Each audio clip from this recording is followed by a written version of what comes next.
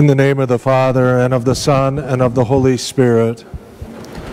O Mother of perpetual help, grant that I may ever invoke your powerful name, the protection of the living and the salvation of the dying.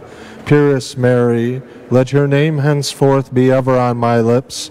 Delay not, Blessed Lady, to rescue me whenever I call on you. In my temptations, in my needs, I will never cease to call on you, ever repeating your sacred name. Mary, Mary, what a consolation, what sweetness, what confidence fills my soul when I utter your sacred name or even only think of you. I thank the Lord for having given you so sweet, so powerful, so lovely a name, but I will not be content with merely uttering your name. Let my love for you prompt me ever to hail you, Mother of perpetual help. Mother of perpetual help, pray for me and grant me the favors I confidently ask of you. O Mother of perpetual help, through your grace and intercession, we ask for your assistance for an end to the coronavirus pandemic, for the continual growth of holiness in our parish, for an increase in our daily lives of the fire of our Catholic faith, for the needs and intentions of our parish, and for the intentions of those for whom the candle before your image is burning this week, and for the intentions that we hold now in the silence of our hearts.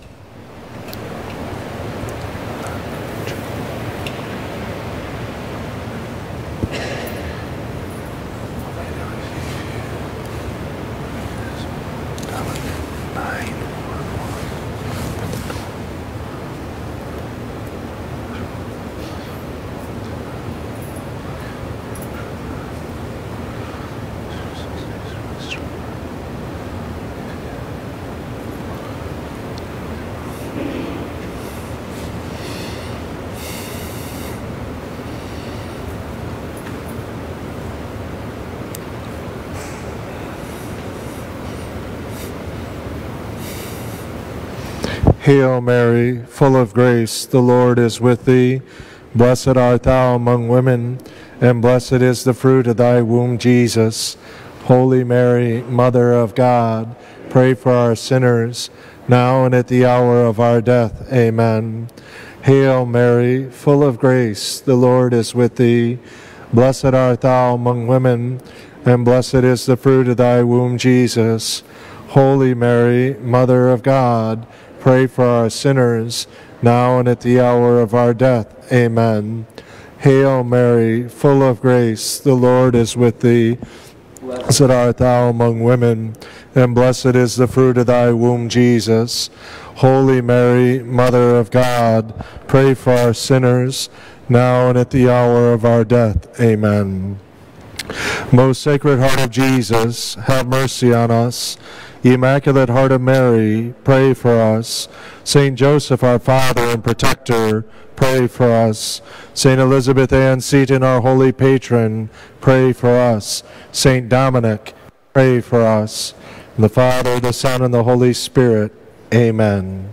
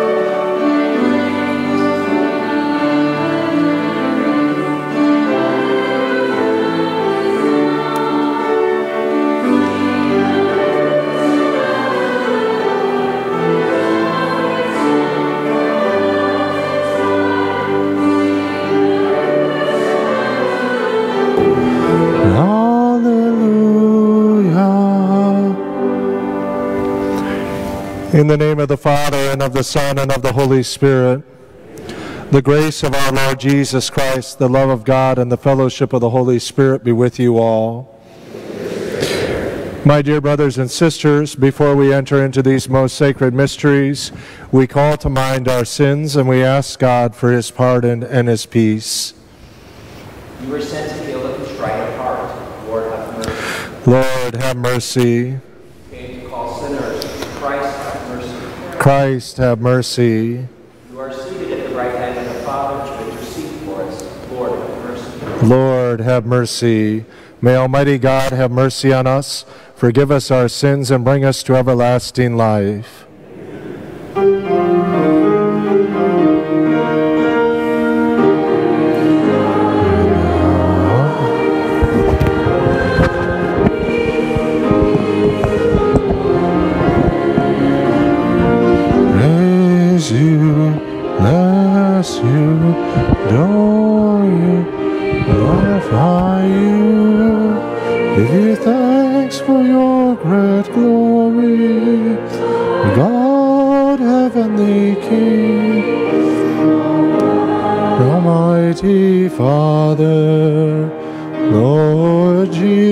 Jesus Christ, the begotten Son, Lord God, Lamb of God, Son of the Father, you take away the sins of the world, mercy on us. You take away the sins of the world, receive our prayer. Seated at the right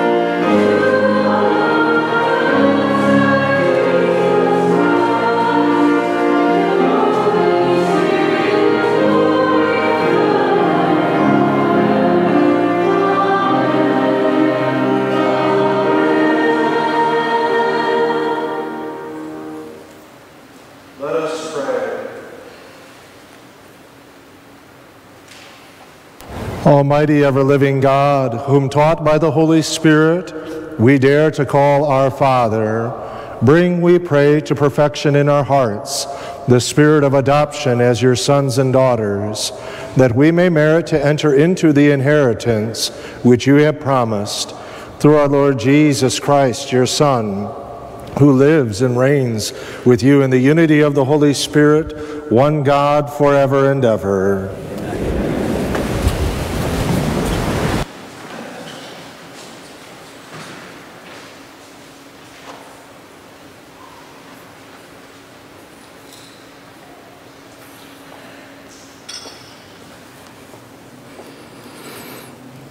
A reading from the first book of Kings.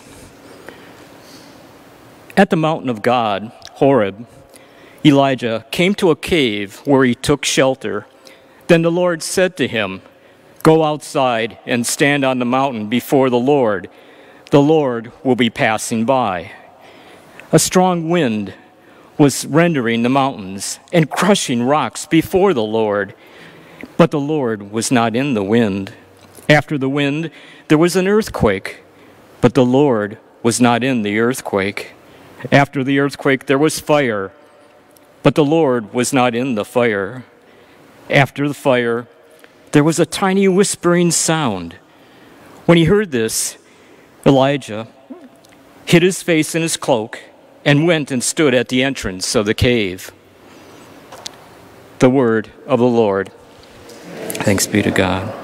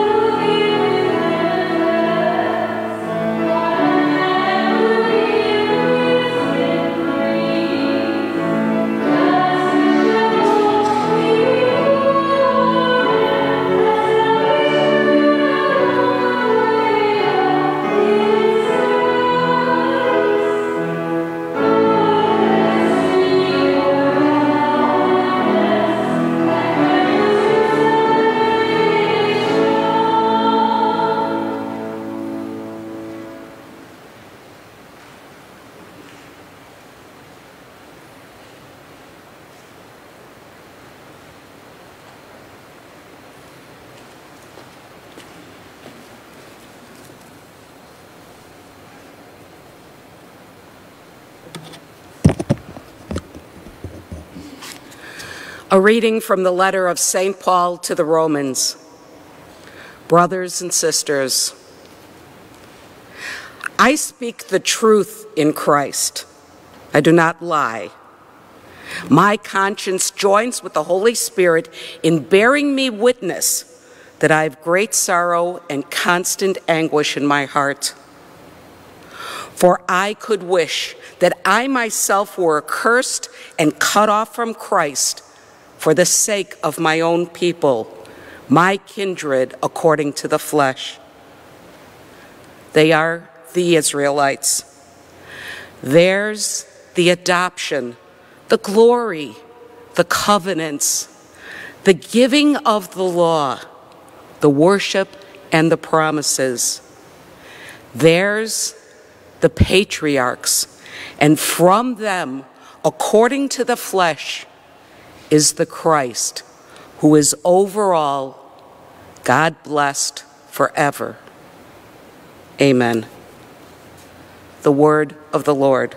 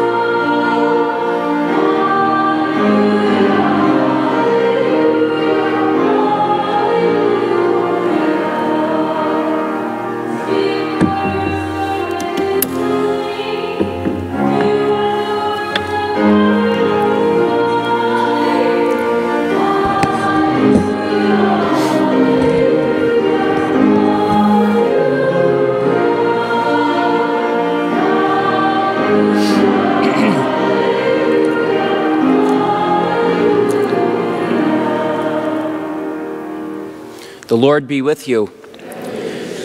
A reading from the Holy Gospel according to Matthew. After he had fed the people, Jesus made the disciples get into a boat and precede him to the other side, while he dismissed the crowds. After doing so, he went up on the mountain by himself to pray. When it was evening, he was there alone. Meanwhile, the boat, already a few miles offshore, was being tossed about by the waves, for the wind was against it. During the fourth watch of the night, he came toward them walking on the sea. When the disciples saw him walking on the sea, they were terrified. It is a ghost, they said, and they cried out in fear. At once, Jesus spoke to them Take courage, it is I. Do not be afraid. Peter said to him in reply, Lord, if it is you, command me to come to you on the water. He said, Come. Peter got out of the boat and began to walk on the water toward Jesus. But when he saw how strong the wind was, he became frightened, and beginning to sink, he cried out, Lord, save me. Immediately Jesus stretched out his hand and caught Peter, and said to him, O you of little faith, why did you doubt? After they got into the boat, the wind died down. Those who were in the boat did him homage, saying, Truly, you are the Son of God. The Gospel of the Lord.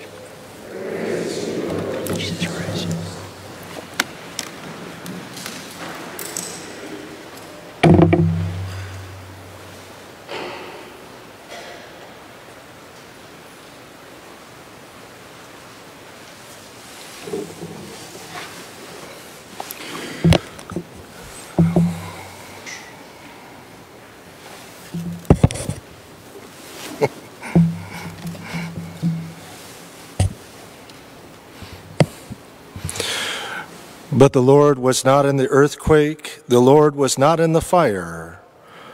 But then there was a tiny whispering sound. The first reading, as well as our gospel reading today, teach us what we are to do when everything goes wrong in our lives, how we are to react, what we are to respond to in our relationship with Christ, that we are to go back to the very beginning of our relationship with Christ. That is what the book of Kings and the prophet Elijah teach us. Elijah was a prophet in quite a chaotic time, a time not unlike our own. But it was a time when Israel had all gone into apostasy. There were very few people left in the state and the country of Israel that were faithful to Yahweh. They had all gone chasing after the Baals. They had all gone into sexual perversion. That is what the Baal cult was all about. And yet, as he fights, as he seeks to unite Israel back to Yahweh, right? This is right after we have the famed account of him slaughtering all of the false prophets by calling down fire from heaven. And yet now, doing the right thing, trying to lead Israel back to their relationship with Yahweh, he has a death warrant on his head from Jezebel. And he finds himself making a long, long pilgrimage from where he was at up in the north, where Carmel was at, to where Horeb is at, is about as far in the land of Israel from one another as you can get. It's like going from Canada down to the southern part of Texas's border in the land of Israel. But why does he go there? He goes there because Horeb is the place where God first struck his covenant with all of Israel.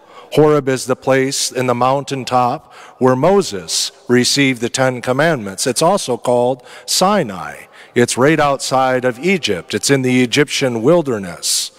And so he goes back to the beginnings of God's relationship with Israel to beg for God, to beg for all of Israel some sort of activity of God to say, I've done what you wanted, and the people still haven't repented.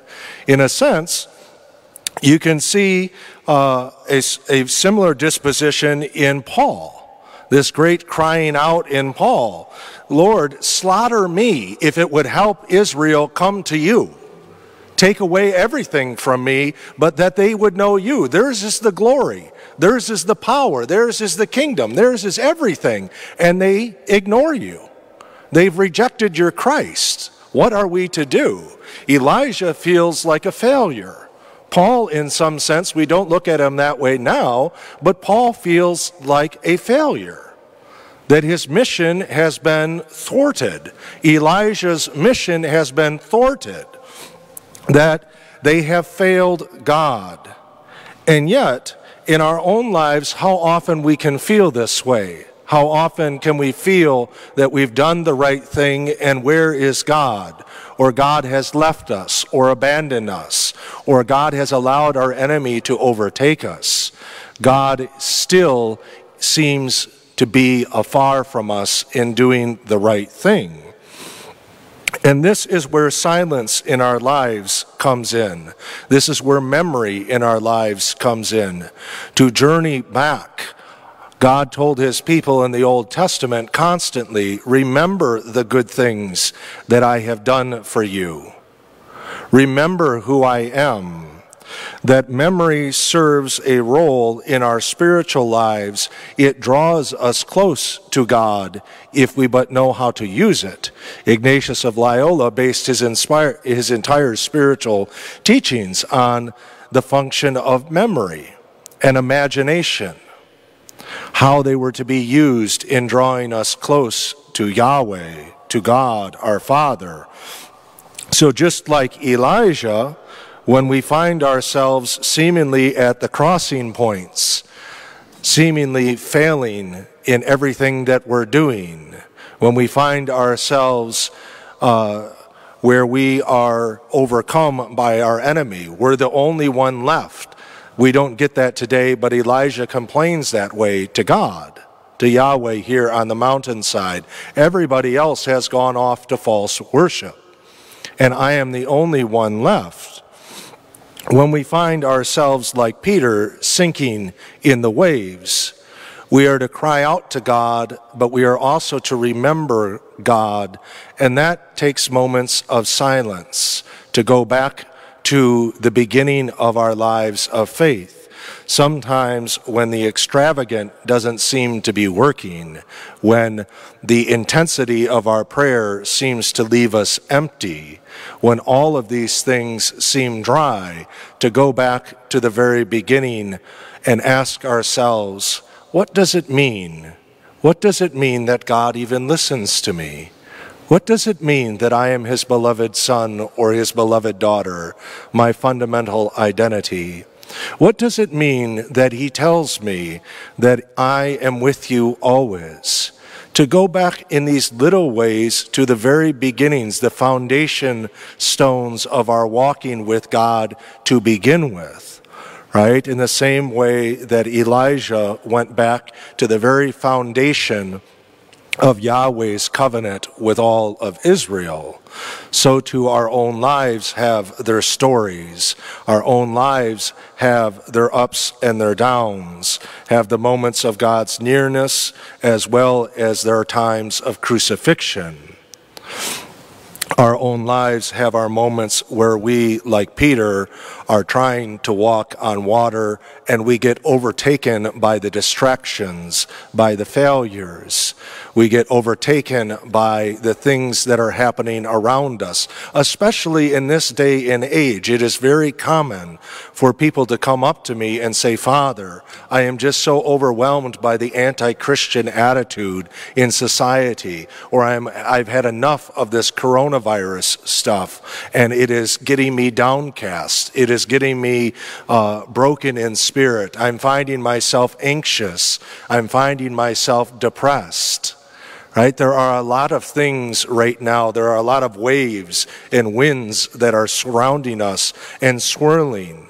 And in some sense, the spiritual culture in our day and age is not that far from what it was in Elijah's day and age, where we find ourselves living in a wicked and a perverse culture, a culture which celebrates things that should not be celebrated we find our culture trying to indoctrinate our children as such.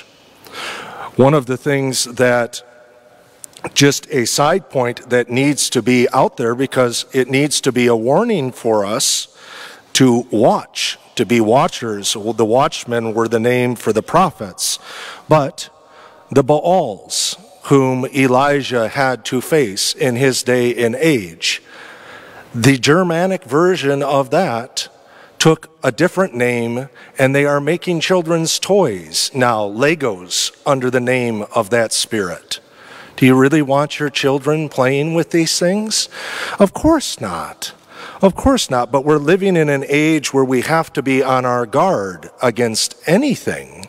The name of that Germanic spirit is Thor. It is the same name as Baal celebrated in the movies The Avengers, has his own movies out there, has his own toys out there, etc. We need to be on our guard because the culture is not that different from what it was like in Elijah's day and age. But we who are faithful, we who have come before our God, we who have come here to worship him, come to Mount Zion, come to the place where he comes to give us his body, blood, soul, and divinity. For us, we need in our own lives, amidst all of these various things of the culture, never to get downcast or discouraged. It is so hard to sanctify a soul which is downcast or discouraged. That was the number one rule of St. Philip Neri. He said, God loves joyful hearts. God easily sanctifies joyful hearts. And so, when we find ourselves sinking into the waves and into the muck that is around us, we need to call out to Christ like Peter. And Christ will immediately, that Greek word there is very strong, immediately he reached out to save him to draw him back into relationship with himself. Our God does not condemn us in our struggles. Our God is the God of all encouragement. He knows the battle that we face. Immediately, He will help us when we fail or we fall. But we, for our part, must seek Him, go and seek Him out, must cry out to Him, seek Him like Elijah went on a pilgrimage to seek Him from the north down to the south, and to rediscover, reunite ourselves, solidify our relationship when it seems to have fallen aside, solidify our walk with God when we seem to have stopped praying, to renew it, to rejuvenate it. How important that is. Always remember, too, part of that renewal means spending time not only in prayer, but in silence. Silence is very important. Cardinal Sarah just wrote a book about the power of silence. And it is very important in our spiritual lives to learn to try and cultivate silence in a world that is filled with rapidity and noise. It's always everything has to be moving faster, or everything is constantly trying to speak to us with the noise. That silence, God's covenant, comes and God's words to us come in the silent depths of our heart, and it does produce peace even now, even now, God speaks. And it is a regular thing for us if we know how to cultivate the silence in our minds and in our spirits that can listen for Him. Because God will speak through your thoughts. Everybody knows what it is like to have thoughts that you think. Right? If Father told you to think about dinner tonight after Mass, you would know exactly what you might want to think about. You can cultivate it up in your mind. And everybody knows what it is like at times to have things come into your mind which are not wanted. They are not thought up by you. They just come. In the same way, when God speaks, it is very similar thoughts of peace that produce a peace and a quiet and a truth, a truth that's in accordance with scriptures, will come. That's how God speaks. That's what the saints talk about when they say hearing his voice. But if we're so filled with interior noise that we're not listening, we're not listening, we're not going to be able to hear him. Contemplate the fact that God came to Elijah. God renewed the covenant, rejuvenated Elijah. God strengthened Elijah, not with the great signs and wonders, right? The fire, the earthquakes, everything. These were the signs that were there for Moses. This is a theophanic experience. This is a God breaking into the world experience. And yet, the scripture author wants to say that the closest Elijah comes to God is not through the lightning and the thunder and the earthquake and the fires, the way that it was for Moses, but it is in the silence. God renews the world by the silence of the Nativity. Think about that. God raises his son from the dead in the silence of the middle of the night. Silence has a power to it that we have to learn to reverence in our own lives. So, when things are going astray, when you feel weakened, when you feel overwhelmed, when you feel beat up, when you feel as though you have lost all hope, Renew yourself in silence. Find time for silence in your life. Go backwards in your memory. Go backwards into remember the good things that the Lord has done for you. Stir those memories up. They will draw the Lord close to you. Remember, the Lord is eternal, which means every activity that God does for us is, in a sense, quasi infinite. It means that if He broke into your life at a certain point and gave you a certain grace, that grace is still out there to be received and to be renewed in your life. It doesn't have a beginning and an end. An eternal being, as he acts with us, has the ability at any moment, at any moment, to renew the grace that is given. Because that grace, as it is given, is something that is, by its very nature, eternal. You sensed it in time, but in a sense, it radiates throughout all time. So as you go back and as you remember it, you are not just me- remembering it, you are, in a sense, reliving it, re experiencing it, re tapping into that grace. It has a power there. So, go back to the beginning and also cry out. Do not be afraid to cry out. If condemnation comes to you in weakness, it is not from Jesus Christ. Jesus will never bruise a broken reed, right? Never break a broken or bruised reed. He will never crush a soul. We get this beautiful, beautiful Psalm 51 in the new in the chapel now that was just placed there. Beautiful about a humble and a contrite heart.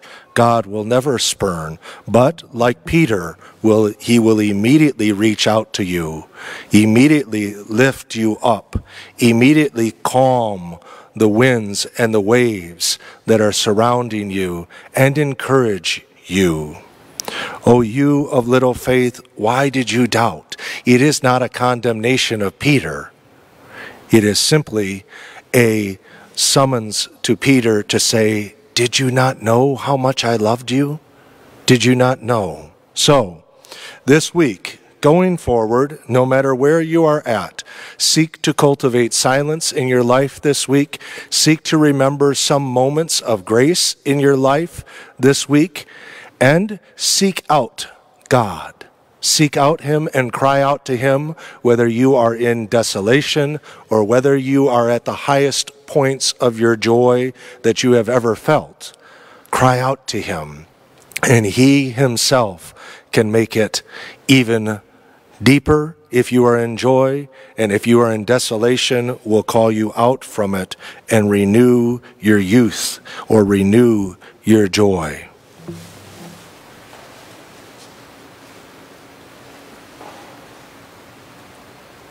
Asking God's blessing is that we ask His blessing to permeate all aspects of our life, especially those relationships which are dearest to us.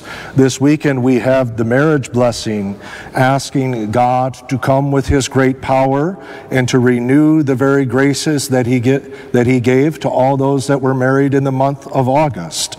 So I'd ask at this time that if you are celebrating a wedding anniversary this month, to please stand as we pray God's blessing and God's renewal upon your marriage. We ask Almighty and eternal God that you who have so exalted the unbreakable bond of marriage, that it has become the sacramental sign of your Son's union with the church as his spouse, Look with favor and anoint these married couples whom you have anointed in whom you have united in marriage as they ask for your help and the protection of the Virgin Mary. They pray, Father, that in good times and in bad they will grow in love for each other, that they will resolve to be of one heart in the bond of peace. Lord Jesus, in their struggles, let them rejoice that you are near to help them. In their needs, let them know that you are there to rescue them. In their joys, let them see, Jesus, that you are the source and the completion of every happiness. And, Lord Jesus, complete the good work that you have begun in them. We ask this all through Christ our Lord, Father, Son, and Holy Spirit. Amen. Now let us all stand together as we profess our faith. I believe in one God, the Father Almighty, maker of heaven and earth, of all things visible and invisible. Jesus Christ, the only begotten Son of God, born of the Father before all ages, God from God, light from light, true God from true God, begotten, not made, consubstantial with the Father. Through him all things were made. For us men and for our salvation, he came down from heaven, and by the Holy Spirit was incarnate of the Virgin Mary and became man. For our sake he was crucified under Pontius Pilate. He suffered death and was buried, and rose again on the third day in accordance with the Scriptures. He ascended into heaven and is seated at the right hand of the Father. He will come again in glory to judge the living and the dead, and his kingdom will have no end. I believe in the Holy Spirit, the Lord, the giver of life, who proceeds from the Father and the Son who with the Father and the Son is adored and glorified, who has spoken through the prophets. I believe in one holy Catholic and Apostolic Church. I confess one baptism for the forgiveness of sins, and I look forward to the resurrection of the dead and the life of the world to come. Amen. Gathering our prayers and our petitions, we present them now to our Heavenly Father for the church that we may learn to discern the voice of God, not in wind and earthquake and fire, but in the gentle whisper that announces his passing by. We pray to the Lord.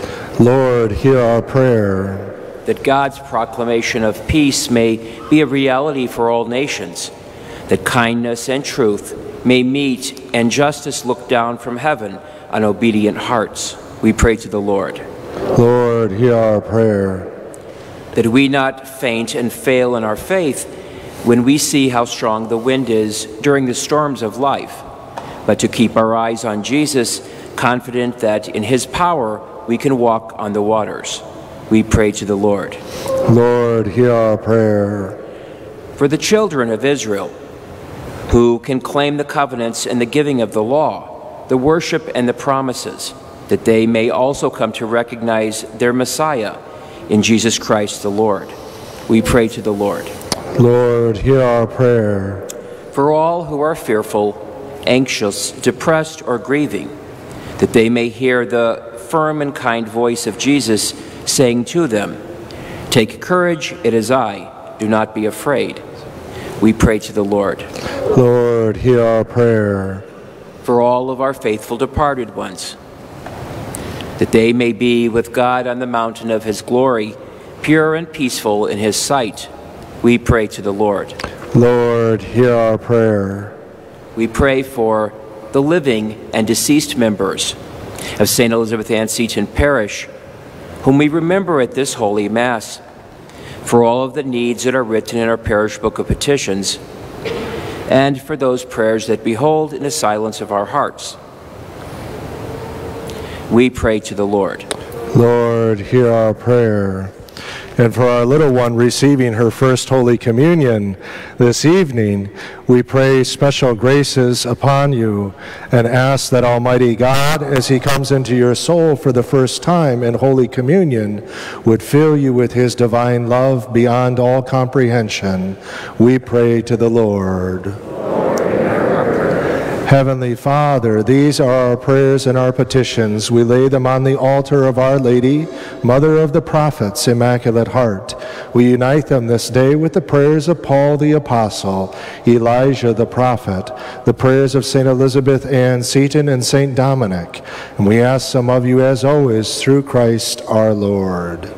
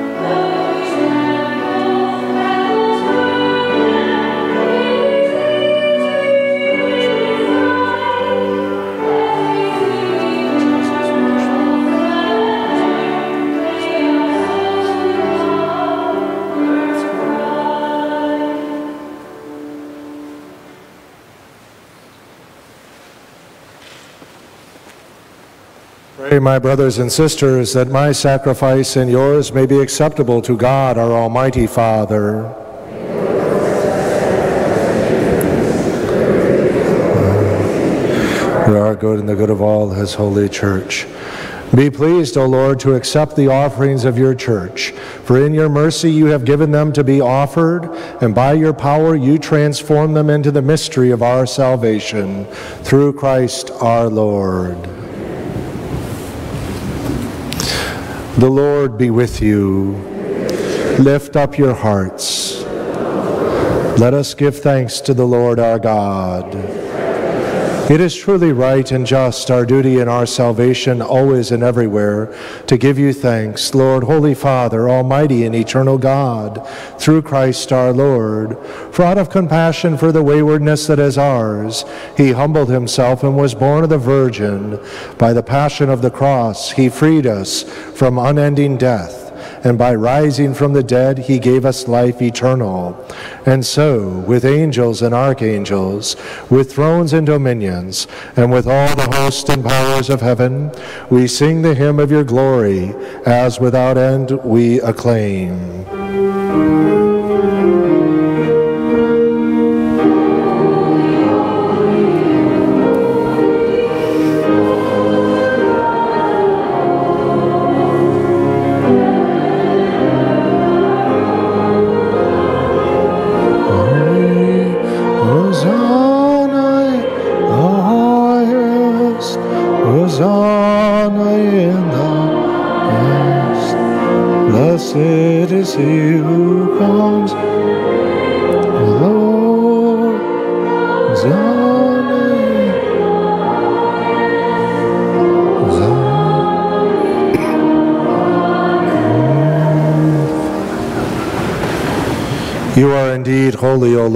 All you have created rightly gives you praise.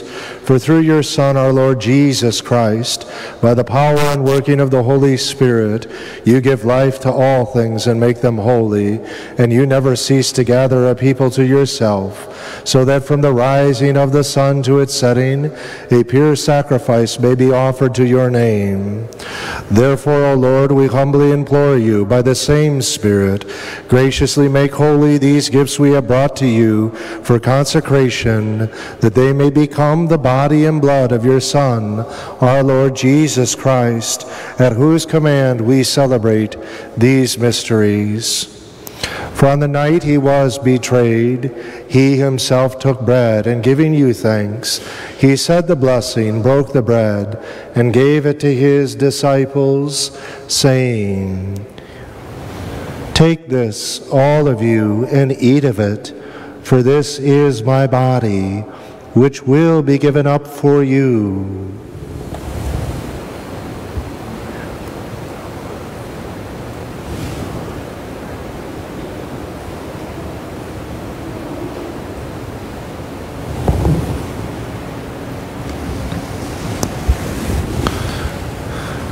In a similar way, when supper was ended, he took the chalice and giving you thanks, he said the blessing and gave the chalice to his disciples, saying, Take this, all of you, and drink from it, for this is the chalice of my blood, the blood of the new and eternal covenant, which will be poured out for you and for many for the forgiveness of sins. Do this in memory of me.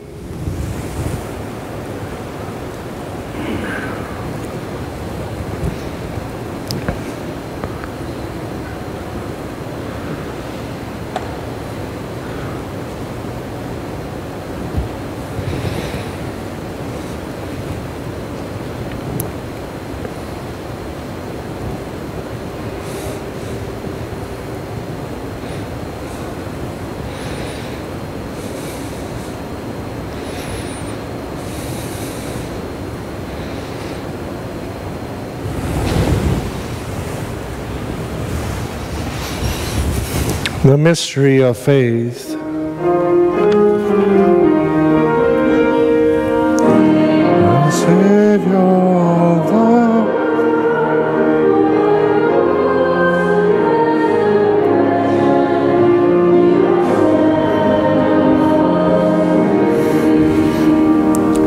Therefore, O Lord, as we celebrate the memorial of the saving passion of your Son, his wondrous resurrection and ascension into heaven, and as we look forward to his second coming, we offer you in thanksgiving this holy and living sacrifice. Look, we pray upon the oblation of your church, and recognizing the sacrificial victim by whose death you willed to reconcile us to yourself. Grant that we who are nourished by the body and blood of your Son and filled with his Holy Spirit may become one body, one spirit in Christ. May he make of us an eternal offering to you, so that we may obtain an inheritance with your elect, especially with the most blessed Virgin Mary, Mother of God, with blessed Joseph, her spouse, with your blessed apostles and glorious martyrs with St. Elizabeth Ann Seton, St. Dominic, St. Elijah, and with all the saints, on whose constant intercession in your presence we rely for unfailing help. May this sacrifice of our reconciliation, we pray, O Lord, advance the peace and salvation of all the world. Be pleased to confirm in faith and charity your pilgrim church on earth, with your servant Francis our Pope and David our Bishop, the order of bishops, all the clergy, and the entire people you have gained for your own. Listen graciously to the prayers of this family, whom you have summoned before you. In your compassion, O merciful Father, gather to yourself all your children scattered throughout the world, to our departed brothers and sisters, and to all who were pleasing to you at their passing from this life. Give kind admittance to your kingdom. There we hope to enjoy forever the fullness of your glory. Through Christ our Lord, through whom you bestow on the world all that is good.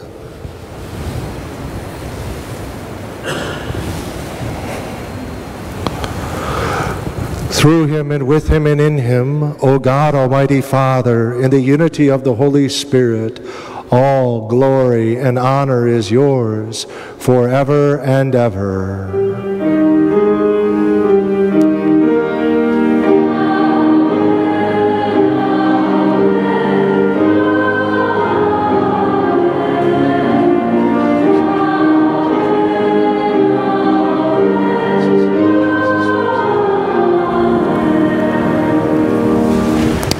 At the Savior's command, informed by divine teaching, we dare to say, Our Father, who art in heaven, hallowed be thy name. Thy kingdom come, thy will be done, on earth as it is in heaven. Give us this day our daily bread, and forgive us our trespasses, as we forgive those who trespass against us. And lead us not into temptation, but deliver us from evil. Deliver us, Lord, we pray, from every evil. Graciously grant peace in our days, that by the help of your mercy we may be always free from sin and safe from all distress, as we await the blessed hope and the coming of our Savior, Jesus Christ. Lord Jesus Christ, who said to your apostles, Peace I leave you, my peace I give you. Look not on our sins, but on the faith of your church, and graciously grant her peace and unity in accordance with your will, who live and reign forever and ever. The peace of the Lord be with you always.